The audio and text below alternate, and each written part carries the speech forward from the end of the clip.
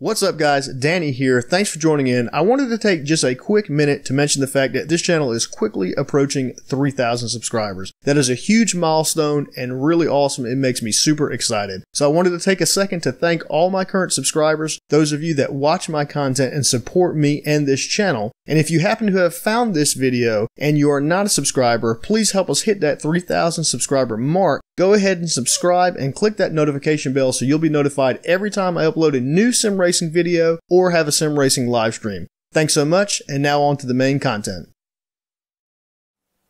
Welcome back everybody, Danny here for another sim racing video and today we are taking a look at the new DLC that was just released, uh, the 70th anniversary Ferrari pack and uh, it's kind of late. I know a lot of people have already done videos on these, but I thought I'd go ahead and do some as well. Uh, we're basically going to just take a test drive in each individual car, but I'm going to split them up into individual videos. That way they're not super incredibly long. Um, so the very first car we're going to take a look at out of this pack, oops, let's go back here, uh, is going to be this vehicle right here. This is the Ferrari 250 GTO, and I think that just about everybody will agree that this is probably the best car in this entire pack. Um, I have taken it around just a little bit, and it is a absolute joy to drive. So we're just going to take it out here uh, and do a couple of laps and uh, I'll tell you a little bit what I think about it, um, whether uh, Assetto Corsa is uh, getting better with their cars or staying the same. I'll just give you a little bit of information, and we're just going to head out and do a few laps on the 1967 uh, model of uh, or version of Silverstone because that was probably an era of track that this car would have actually driven on. So uh, let's hop out on the track and see what this thing is all about. So here we are in game, and as you can see, this thing is absolute beauty. As a matter of fact, let's hop in here and let's play with our free cameras a little bit. And uh, what I'm going to do here is uh, just take a look around the car there. It's uh, very, very uh, it is just a beautiful, beautiful car. If you just take a look at that, let's go around here to the back here. Uh, guys, if you want a tutorial on how to turn these free cameras on, uh, feel free to let me know in the comments and I will let you know how to do that if you don't. Let's uh, get a little sound clip from the back here, see how she sounds. Oh yeah. sounds very good. They uh, yeah, that sounds pretty good. Sounds like a, a, Ferrari from the era for sure. So let's hop back in the car here, and uh, we'll take her for a couple of laps. Tell you what I think. Been a little while since Assetto Corsa uh, did a um, DLC pack, so it was a nice, refreshing taste to see something new. And uh, oh, this one almost seems like a little drifter or something. Sounds good. Uh, force feedback feels good, which it always does, to be honest with you. Kunos does a very good job with their force feedback in most of their cars, uh, whether it's the original cars that came with the, the base game way back in the day or, uh, or any of the DLC cars they've come out with. They're always really solid cars. I much prefer the game cars over um, really any mod uh, just because they just feel more complete to me for whatever reason. Hard, kind of hard to explain. This car sounds great. Brakes fairly well.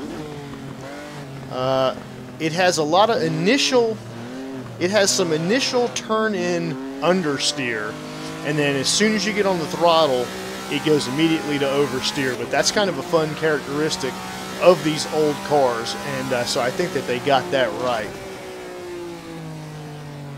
Funny thing is, this is almost, see there's that oversteer. Uh, when you're off throttle, there's some oversteer. As soon as you get on the throttle, it kicks the ass end around. Sounds great. Does not like to steer on braking.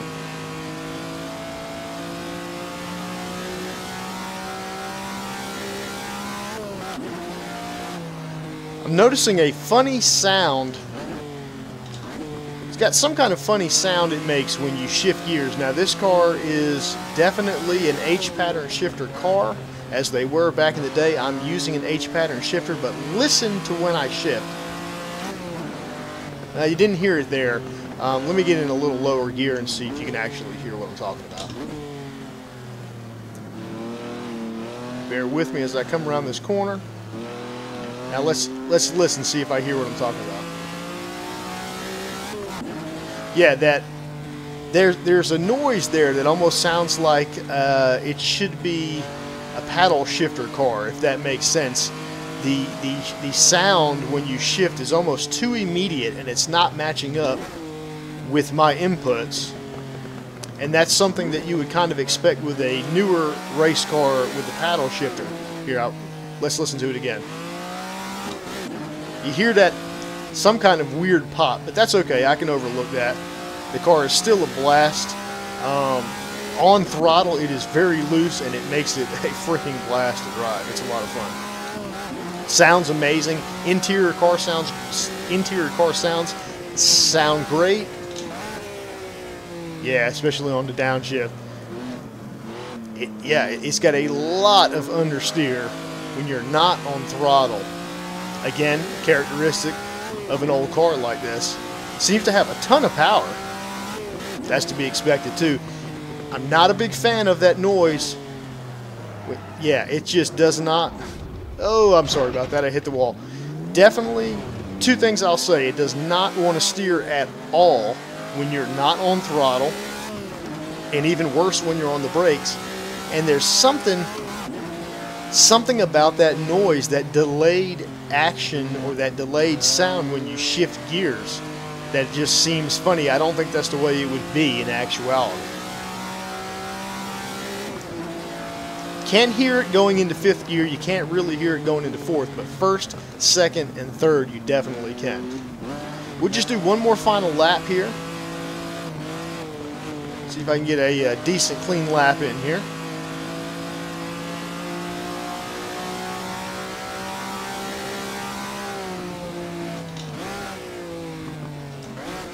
I hear a little backfire. Oh, look at me trying to get a clean lap. I goofed that up big time. trying to be silly and drift it. Does actually surprisingly seem like it might be a fun little drifting car though, because it does get loose on throttle.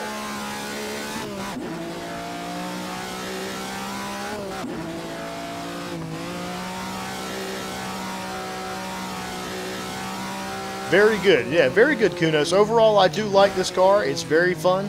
Uh, I would recommend picking up this pack. Every car I've driven out of the pack so far has been a lot of fun. And uh, there's a few more that we have to go through. Uh, this was actually the first one, so we have to go through the entire rest of the pack. Yeah, that's a little drifting machine right there. Um, and we will, and uh, they'll be in uh, other videos, not in this video, like I said in the beginning. So yeah, so this is pretty cool. Um, if you guys get the opportunity to pick up this pack and try out this car, I highly recommend it. It's a lot of fun. We'll stop right here. We're going to end this video here, and I'll see you guys uh, for the next test drive on the next car in this pack. See you.